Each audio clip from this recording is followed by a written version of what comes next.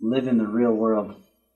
Now, what does that mean? Well, it's one of my favorites because it's, it's been one of my challenges, and that is to always leave margins. When you're traveling someplace and you need to be there on time, calculate things that can go wrong. Um, when you're developing budgets, calculate overages, contingencies. Um, when you're coaching, you have a game plan. You need to game plan B, a game plan C, and all of these things. So living in the real world is taking the things that are going, the things that we can't predict, and make them predictable.